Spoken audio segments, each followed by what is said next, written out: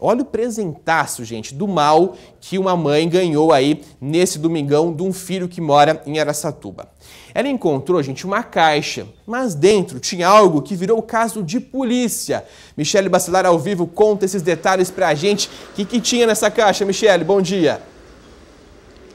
Bom dia, Casa Grande. Bom dia para você que acompanha a gente nessa segunda-feira. É, pois é, uma surpresa bastante desagradável, viu, Casa Grande? A mulher de 53 anos estava limpando o quarto do filho dela quando encontrou embaixo da cama uma caixa, embaixo da cama dele, né, uma caixa que estava tinha um recado, estava escrito para uma grande mãe. Ela então abriu o tal presente teve aí essa surpresa. Na caixa tinha mais de 150 pinos de cocaína e 700 pinos vazio. A mulher então ficou assustada, ligou para a polícia militar na hora. A polícia foi até o local, apreendeu toda a droga, todos os pinos. O filho dela, um auxiliar de farmácia de 28 anos, não estava na casa no momento, mas a polícia militar está aí em busca do rapaz. A polícia civil também abriu um inquérito para investigar o caso da surpresa desagradável que com certeza nenhuma mãe gostaria de receber